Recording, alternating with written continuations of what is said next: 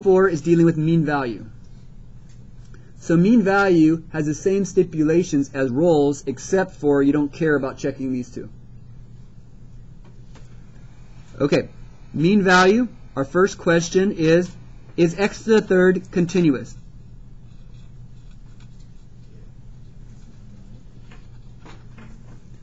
Is x to the third continuous? Can you plug any number into x to the third and make it non-continuous? No, it's a polynomial. There's no way to make that thing not continuous. So this is a yes, or a check mark, or whatever you want to just say, I, I checked it, I'm good. Next, is it differentiable? Well, let's derive it. Isn't it 3x squared? Is this equation is there anything we can mess this equation with up? Basically, think of this as, is this equation continuous? It sounds stupid, but if this is continuous, good. You take the derivative and see if the derivative is continuous is basically saying, is it differentiable? Because if the derivative is continuous, then it's also differentiable. It's kind of a way of thinking of it. So is this always differentiable? Yeah, there's nothing that can malfunction this. So we're good again here. Are our two stipulations taken care of? Yes. Now, what if all of a sudden this was discontinuous at, say, 4? Would that matter? No, because there's 4 in the interval. Got it? What if it was discontinuous, but it, or, or sorry, what if it was not differentiable, but it wasn't, it was outside the interval? That's okay, it doesn't matter. Or what if it wasn't continuous, but it was outside the interval? You can ignore that. For instance, this one, See how it's not continuous at 0? If my interval didn't include 0, could I have kept going? Yeah. But since this was in my interval, I had to stop. Okay. So we have our first two stipulations taken care of. So our last thing on mean value is we have to find the slope, though. Instead of setting it equal to 0, like we did here, we have to set this derivative equal to the slope. And here's what I mean.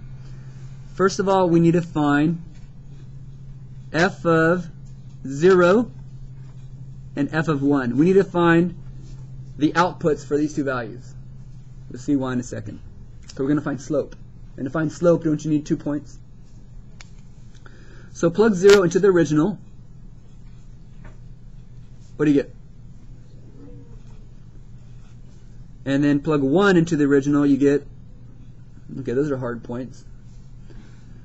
So it's 0, 0, and 1, 1. Most of you can look at that and tell me my slope is 1. Let's just calculate it for the sake of seeing it. This is an easy slope. You need to find the slope. You understand it's 1 minus 0 over 1 minus 0? Do you understand the slope between these two points is 1? Do you understand my next question is where does this derivative, 3x squared, going to equal a slope of 1? We want to find out where does this derivative have a slope of 1? Because 1 is the slope of the two mean. It's the mean slope. This is your mean, average slope of the graph on the interval. So we want to know where does the derivative equal that 1? Should my answer come up between 0 and 1? Yeah. Yes, because that's the whole point of mean value. There's a point on the interval due to our stipulation. Okay. To solve this, first divide by 3.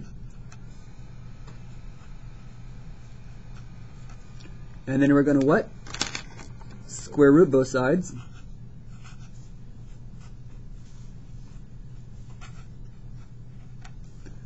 Now, there's two answers. Which one of these is in the interval? The positive. Is that actually an interval? Yeah, the square root of one third is going to be somewhere between 0 and 1. Do we care about the negative answer?